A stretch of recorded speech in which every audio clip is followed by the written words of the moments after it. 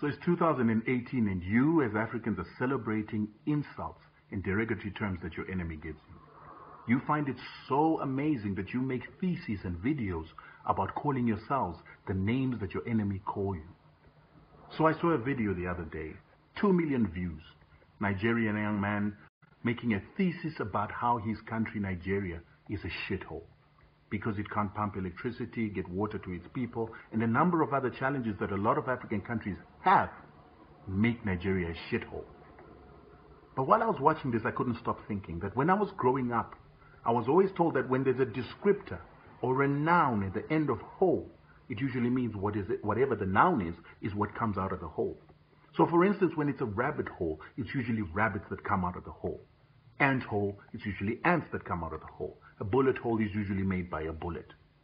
So when he talks about Nigeria being a shithole, I couldn't help but think to myself, who is the shit that comes from Nigeria?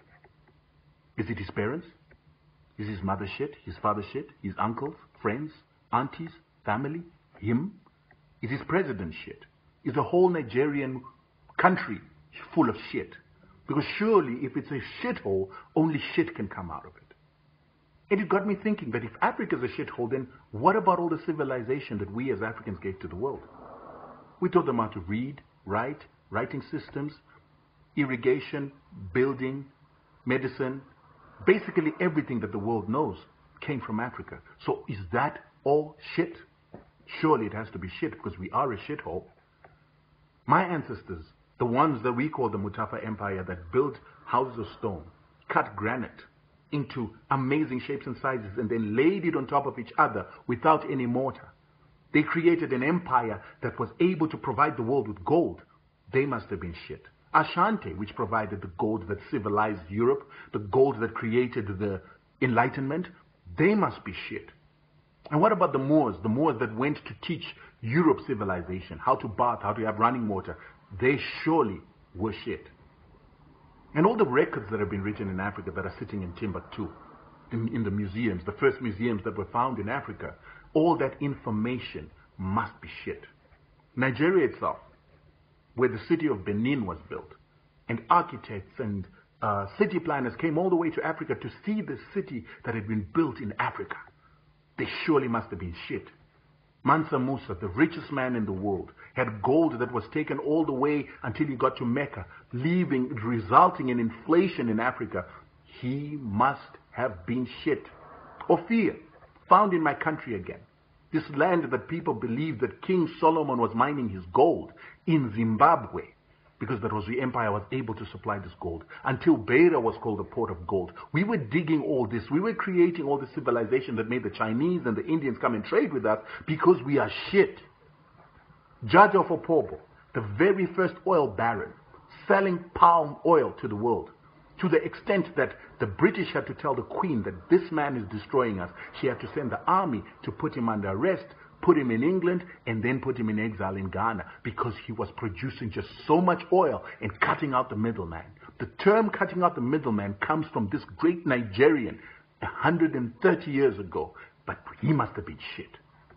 Of course, we must be shit because only shit comes out of Africa.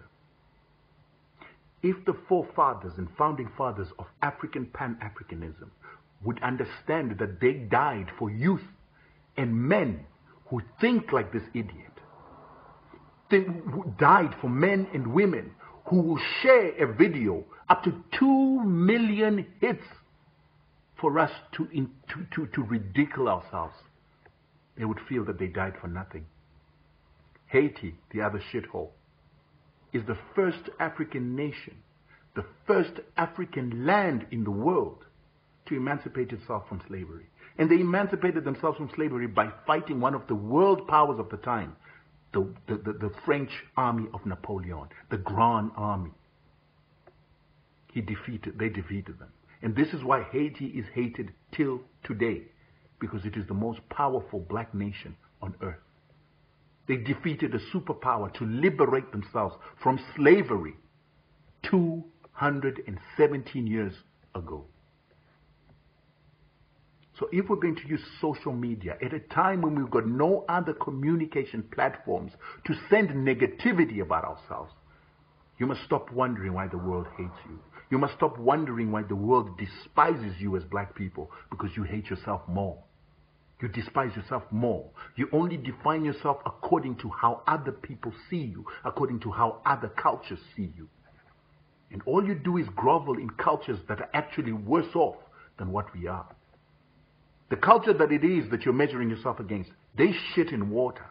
Then they cleanse and clean the water so that human beings can drink it again. Our ancestors knew never to drink, never to, to shit in water.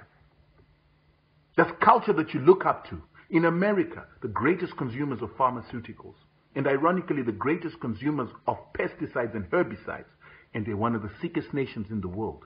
But they have the guts to have a president to tell us that we are shit. Think about it. People who will work out technology, who will innovate to bring sickness and death unto their own people. A nation that will create a weapon that can destroy the world and hope that we are evolving into a better time and a better evolution. Africans, you've got to start thinking. We have pristine waters in Africa. We have forests in, in Africa.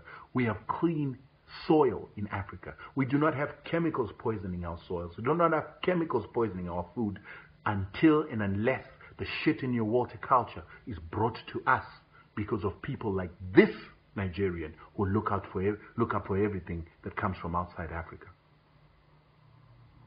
We're a continent of purity that is being corrupted by filth. A continent of greatness, of spirituality that is being contaminated by shit. The reason why Europeans left Europe to come to Africa is because they were dying of disease and hunger. Hence they came to abundance. And when they got here, there were clean waters, pristine. We did not shit in our water. We knew where to shit. You need to know your history.